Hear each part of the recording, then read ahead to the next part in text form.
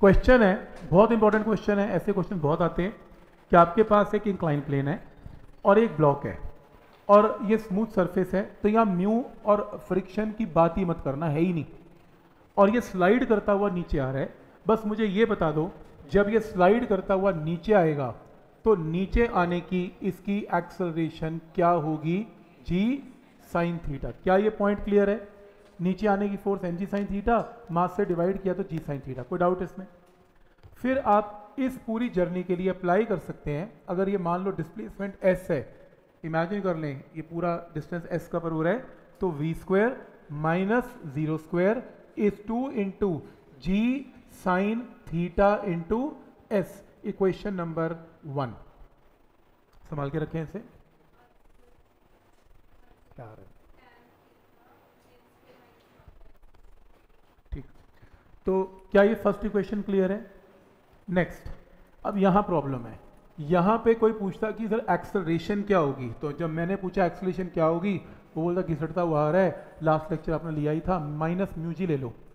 कैसे ले लो माइनस म्यूजी वो इंक्लाइन प्लेन की प्रॉब्लम थोड़ी ना जो लास्ट टाइम की थी. तो सड़क पे चलती प्रॉब्लम थी. उसमें तो साइन थीटा कॉस थीटा होता ही नहीं. इसमें तो है भी. इसमें बिल्कुल बिल्कुल. तो इसके अंदर यही होगा.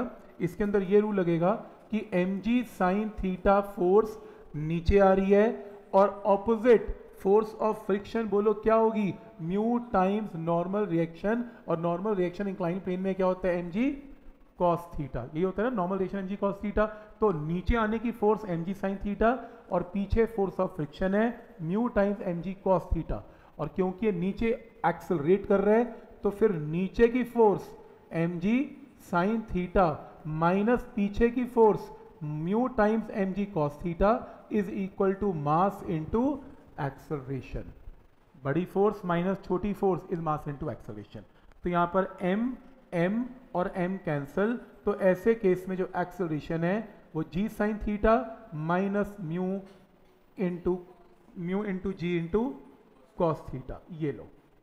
तो मतलब आप इसको याद कर सकते हैं, आप याद कर लें। मैंने किया नहीं हुआ, मैं मन में इवेल्युएट कर लेता हूँ। इधर m g cos sine theta है और पीछे minus mu into m g cos theta m हटा देता हूँ एक्सलेशन आ जाती है। न्यूटन का लॉ हमने फोर्थ चैप्टर किया। फोर्थ चैप्टर क्या कहता है? ये बॉडी कहाँ जा रही है? नीचे। नीचे की फोर्स बड़ी है, पीछे की फोर्स छोटी है। बड़ी फोर्स माइनस छोटी force is mass into acceleration वो तो पुली के केस में भी करते थे, हर केस में यही करते थे। अगर कोई बॉडी एक्सेलरेट कर रही है तो आगे की फोर्स माइनस पीछे की force is mass into acceleration तो अब हम एक काम करेंगे, अब हम इस केस में अप्लाई करते हैं v बाय एन का square final velocity initial velocity और एक्सेलरेशन की जगह g sine theta minus mu g cos theta into distance इसका भी एग्जैक्टली exactly कितना है? S. तो समझ में आ रहा है? एक बार फिर से अप्लाई कर लिया। वही v square minus u square two s second case में फाइनल वेलोसिटी क्या है? वी बाई एन है। इनिशियल वेलोसिटी इसकी क्या थी? ज़ीरो थी। एक्सेलेशन ये पूरी की पूरी एक्सेलेशन ही तो है। इनटू एस क्या ये स्टेप क्लियर है यहाँ तक? इस केस में v square minus zero square two into g sine theta into s क्योंकि यहाँ पर एक्सलेशन जी साइन थीटा है। पर यहाँ पर एक्सलेशन जी साइन थीटा नहीं है। तो ये पूरी एक्सलेशन को नीचे पुट करना पड़ेगा। कोई डाउट इसमें? समझ में आ रहा है सबको यहाँ तक? तो अब आपके पास ना दो इक्वेशंस हैं। एक फ़र्स्ट और एक सेकंड एक काम करते हैं first equation and second equation को ना डिवाइड कर देते हैं। डिवाइड इसलिए क्योंकि फ़र्स्ट इक्वेशन है two g sine theta divided by या एक काम करते हैं सेकंड को फ़र्स्ट से डिवाइड करते हैं, ज़्यादा बेटर रहेगा। हाँ ऐसे भी कर सकते हैं सब्सटीट्यूट भी कर सकते हैं। डिवाइड करना मेरे को ज़्यादा बेटर लगता है क्योंकि ये सेकेंड इक्वेशन है।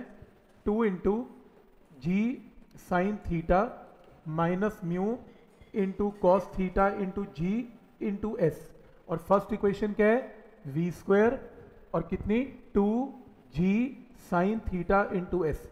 तो बस ठीक है, डिवाइड करने का ये फ़ायदा है। सीधा एस से एस गया, टू से टू गया, वी स्क्वायर से वी स्क्वायर ही गया।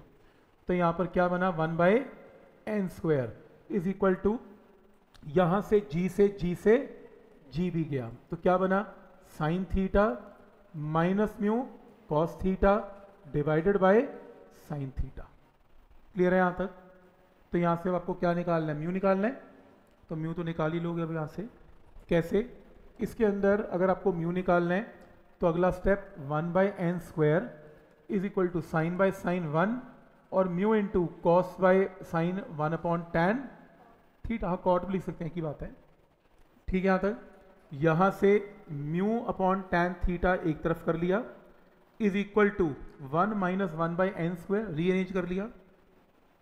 यहाँ से न्यू की वैल्यू साफ़ पता लग रही है, ten theta into one minus one by n square the answer. ऐसा ऑब्जेक्टिव आपको पेपर में देखने को मिलेगा। असाइनमेंट के अंदर भी था शायद। आएगा भी आज।